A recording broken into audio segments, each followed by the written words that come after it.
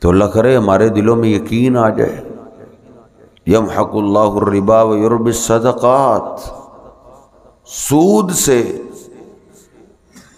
کاروبار میں تباہی ہوتی ہے اور صدقے سے اللہ رزق کو بڑھا دیتا ہے۔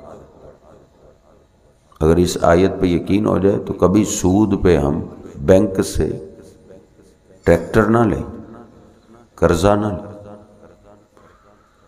جو زمین آپ نے سود کے پیسوں کی خرید لی ہے، ساری زندگی اس کی آمدنی آرام کی۔ آپ نے اپنی نسلوں کے لیے بھی حرام کی بنیاد رکھ دی۔ اور سود ایک اتنا بڑا جرم ہے۔ اللہ کہتا ہے فاضن ہر بن اللہ و رسولی اگر تم سود سے باز نہیں آ رہے، تو پھر اللہ اور اس کے رسول سے جنگ کے لیے تیار ہو۔